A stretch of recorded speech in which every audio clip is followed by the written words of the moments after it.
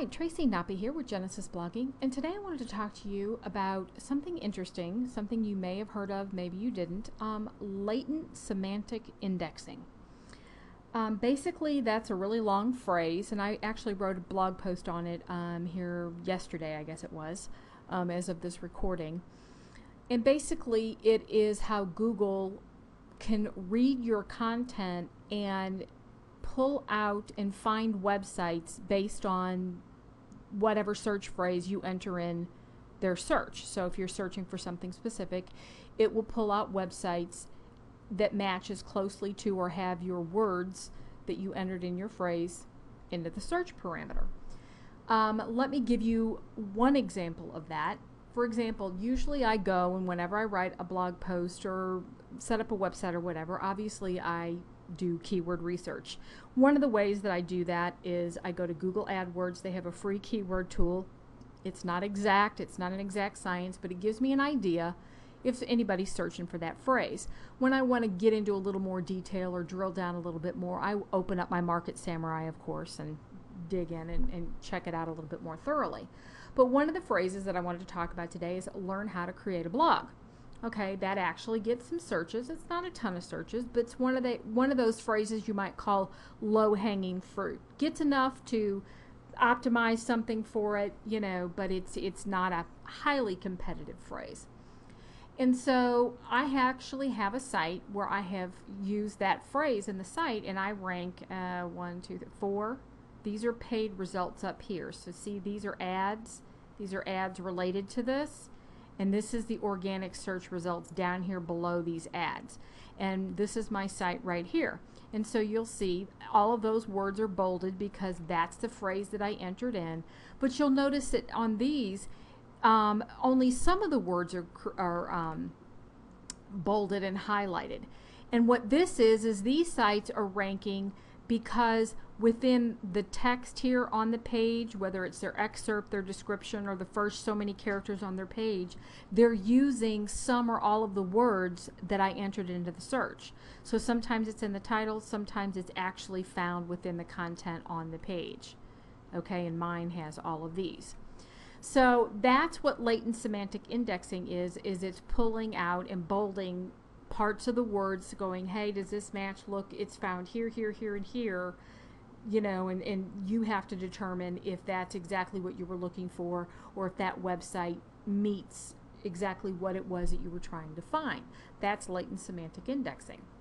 Okay, now you don't normally if you go for really long tail keyword phrases like this is actually a pretty long phrase so you can you know pull out create a blog or you know, whatever, longer your phrase, the more likely you are to get picked up into rank for phrases that might be found within your longer phrase. Another example of this is on, I had a potential client contact me and, um, and I talk about this actually in my blog post where I, you know, oh, okay, how'd you find me? You know, they were needing some help with their shopping cart system and, and their website. And they said, well, I entered premium web cart outsourcing into the Google and you were number one. Well, sure enough, premium web cart outsourcing, actually, I'm now one, two, and three. The blog post I just wrote yesterday titled Latent Semantic Indexing Example, but because I mentioned within the content on the page premium web cart and outsourcing, it also pulls up that blog post that I just published yesterday.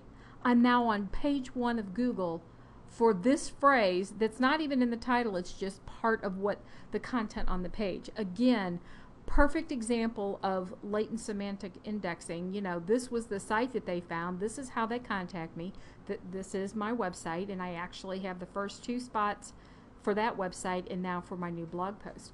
It was just really um, interesting because I didn't set out to optimize my site for that. I really didn't do anything for that. I just listed out the services Premium Web Cart happens to be a shopping cart that I personally use and that I do work with for clients, and I mentioned it by name. So some people naturally are going to enter Premium Web Cart into a search parameter because it's a, a pretty popular system, and of course they they're going to enter in outsourcing. So in this case, I, I ranked for Premium Web Cart outsourcing completely um, by latent semantic indexing alone, not anything that I set out to do. Thought that was very, very interesting.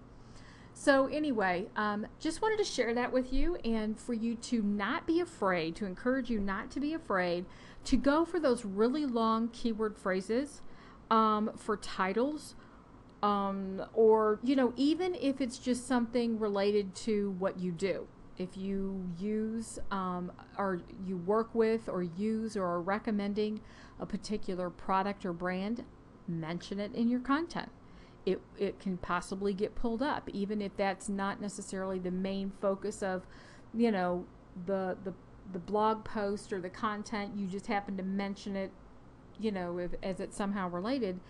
You could also end up with latent semantic indexing um, rankings in Google, and I, I actually got a client out of it, so um, that's not a bad thing. So, anyway, that's an example of the latent semantic indexing Hopefully that helped you. Um, go over and read my blog post. I'll put a link to it below so you can learn just a little bit more about it or enter it in Google and you can find out a little bit more about latent semantic indexing and what all that means. Anyway, hope that helped you and I will talk to you soon.